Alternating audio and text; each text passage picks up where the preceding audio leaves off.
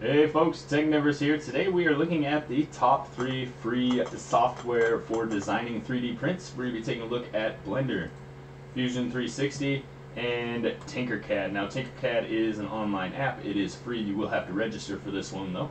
We're going to jump right into it, compare some of the pros and cons right now on the Technivorous channel.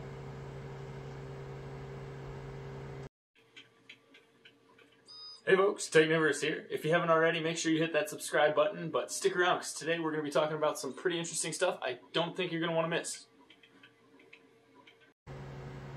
So right off the bat, we're going to start with Tinkercad here. Now, all of these softwares are free. This one is actually a online app, and all you have to do is go to tinkercad.com, and then you can register and log in, and you will see a menu somewhat like this. You shouldn't have any designs because you haven't made anything yet but it is fairly simple to get going and easy to use. So let's go ahead we'll click create new design and we will just whip something up real quickly here. The nice thing about Tinkercad is they have these primitives here that make it really really easy to manipulate and kind of do what you want to do. So let's start with taking in a simple box here. Now I have all my information on this box right here. I can change the parameters by entering into one of the corners here. So by clicking on this, it'll tell me my length and width. I can highlight that and I can change this to be, uh, let's say 25. Helps if I use the numpad, or the numbers instead of the numpad. There we go, 25. Enter. You can see it expand. we can do the same here. Let's do 100 here. And remember this is in millimeters, so then you can just click and drag it around. What I'm going to do is grab this top one here. You can see it's giving me the height dimension. We're going to take that down to 3 millimeters. And we'll just make a fancy little nameplate here. So the next step in this process is going to be a fairly simple one. Let's go ahead and take and add some text. So super simple. Uh, you edit the text by entering it right here. I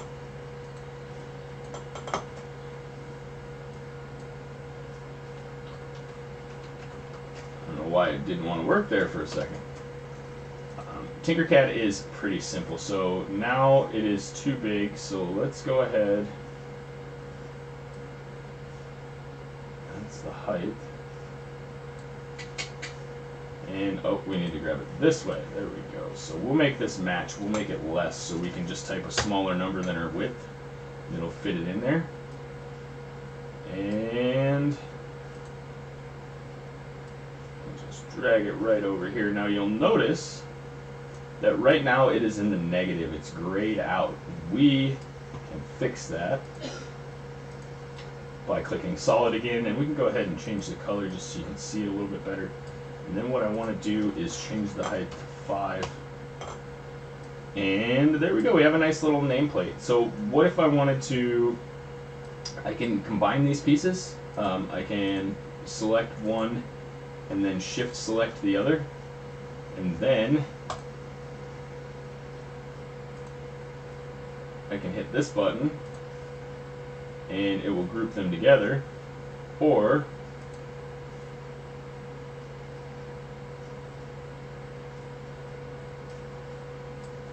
I can take and make the logo a hole instead of solid and then I can simply group those two. And now it takes and it'll boolean it'll subtract that from out of there. So um, I liked it better the other way. So we'll control Z we'll make that work. We will reselect it and make it solid we'll make it white selected the wrong part. Okay, solid, red, that's good enough. Okay, and then um, let's try that subtraction trick one more time. We can take this guy and go like this. And yeah, now 100 millimeters is pretty wide for a keychain, but we can go ahead and pop this hole in here. We need to select this, make it be a hole, select them both, and then group them together.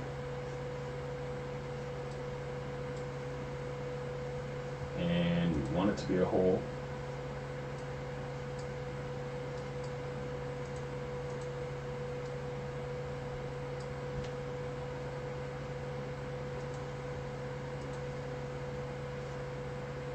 Okay, so now that part's solid, this part went to a hole, so solid again. And there we have it, we have a name tag. Um, you could make this into a keychain.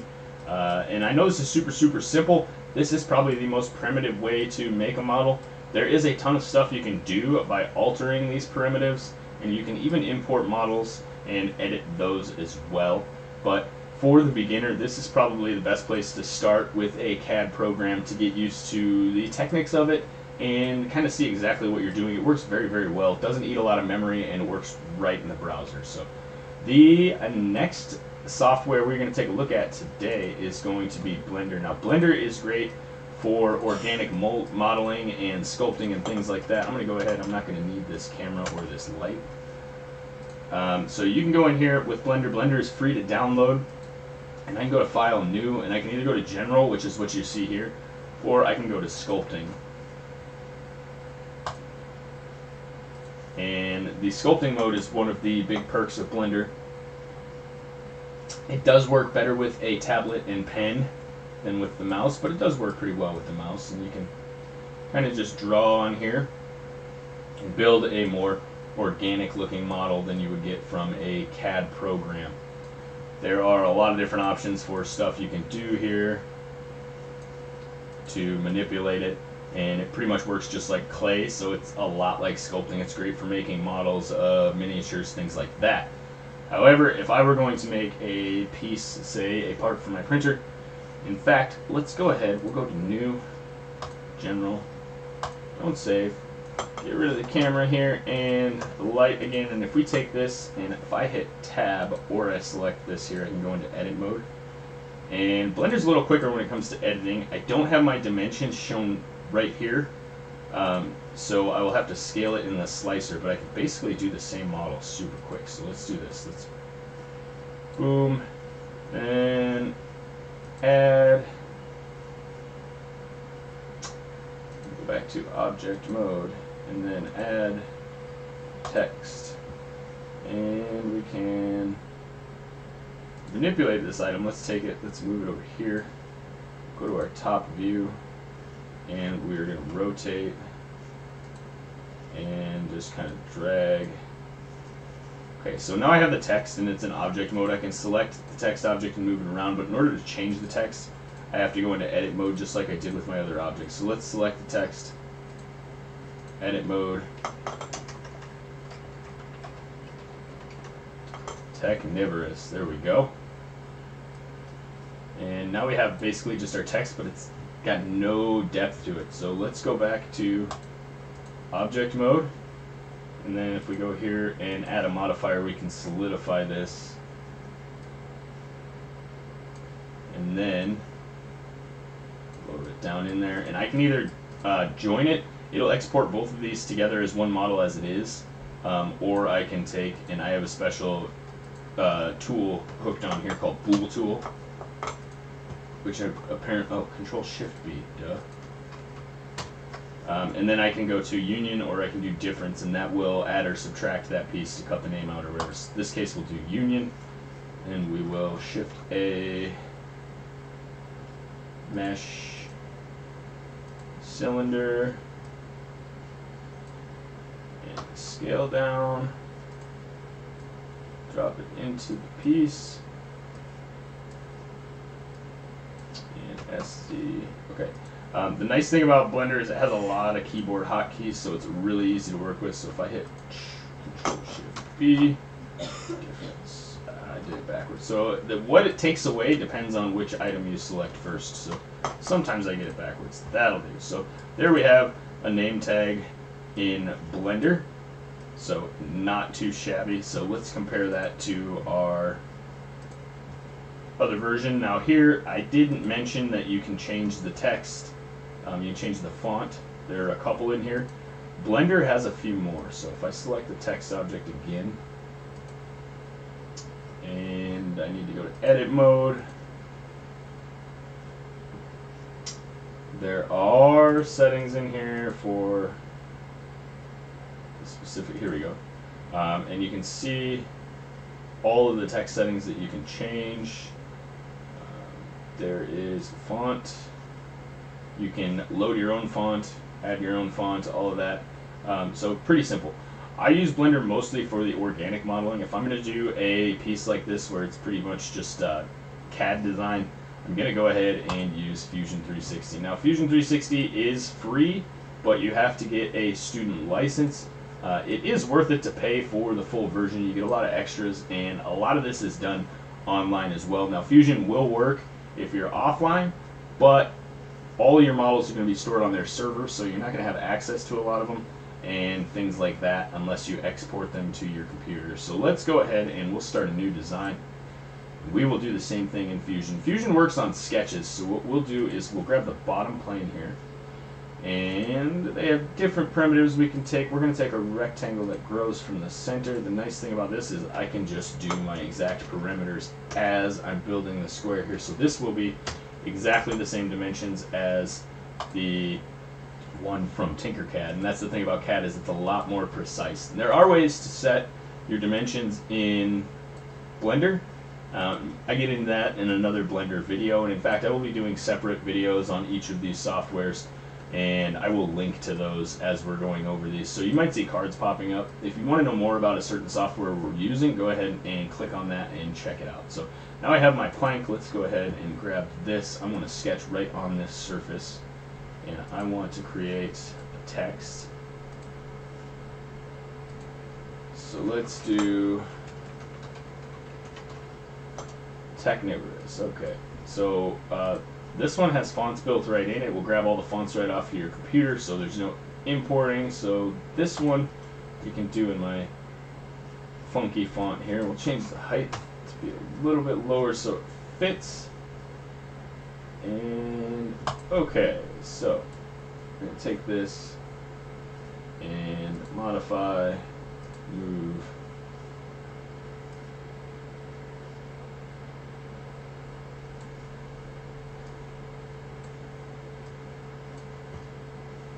Finish sketch. So now I can grab this whole word and extrude. There we have it, and I can go ahead and do one more sketch. Let's grab a circle. This is a little bit easier than the adding and subtracting sometimes, so we'll, we'll take this, we'll pop that in there. And we can, while extruding, which is this button right here, we can either go up and extrude a pillar, or we can go down through the model. Now, if we wanted to start at this plane and add to the back of the model, we could change this to join. Uh, we could also change this to new component or new body, which will do the same thing, but it will make them two separate pieces. So as you can see up here right now, there's only one body. If I hit OK, I have two bodies, and I can grab this and manipulate it. That's not what we want to do, though. Do want to put a hole there. So let's go ahead and take that down. OK, and we have our model. So in this case, I would take and export this into an STL and the same with Blender. If you're using Tinkercad, it's automatically going to go to STL. So uh, you have OBJ, GLTF, and STL. STL is the one you want. The other nice thing about Tinkercad is if you use a laser engraver, you can do that with this piece right here. So um, right now, it's just going to export what is the name there um, because that is the selected shape. So I would have to select everything and click export everything or group them together and then export them. You can tell they grouped because they joined one color.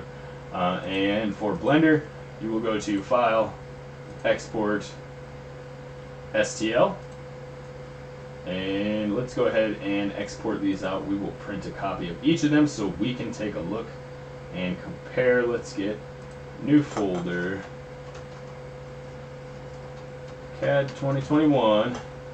Enter, let's go in there and this will be Blender STL. And this will be STL. That's going to put that right in my download file.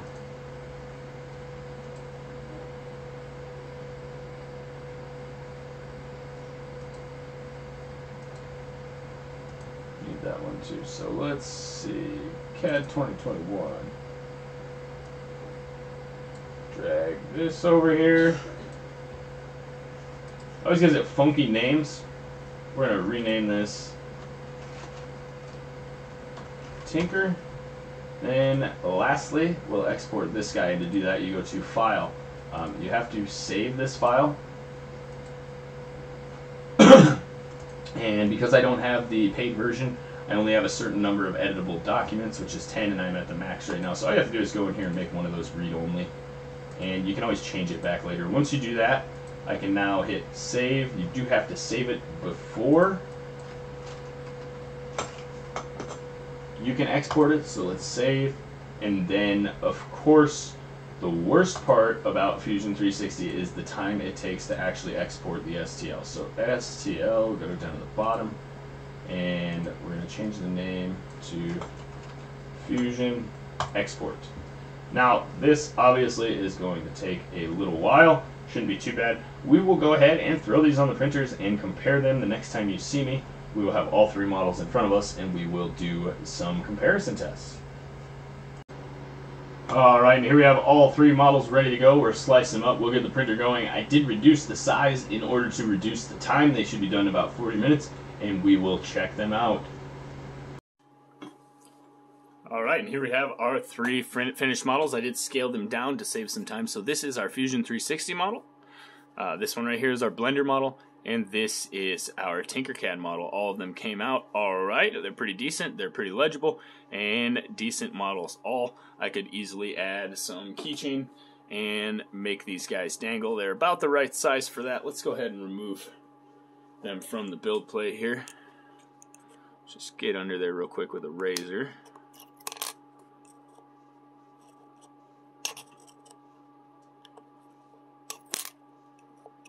and we'll get a little bit better look at these guys. Um, not much of a difference in what the capabilities are. Like I said, Blender is a lot better at doing organic models. So if you want to do like a sculpture of a living creature, you're going to do a lot better with that. Fusion 360 is great for technical designs, although you can see in scaling this down, I did lose a little bit of clarity there, and the E is a little bit over extruded, but that is a scale problem. You can see it didn't have the same effect on the Blender model. This one came out pretty nice and so did the Tinkercad model to scale. This is actually probably the best of them in my opinion. So let's see, we'll pile these right in here, get a nice comparative shot, and you can decide for yourself which method you would like to use that's going to be it for this video, guys. Don't forget to leave a like down below and hit that subscribe button. We have lots more videos like this coming at you, as well as individual videos on each of these softwares and how to use them to make models for your 3D printer. Stick around, guys. I got another YouTube recommended video for you right here. And if you haven't already, subscribe, subscribe, subscribe. Make sure that you smash that like button. We'll see you in the next one. Technivorous out.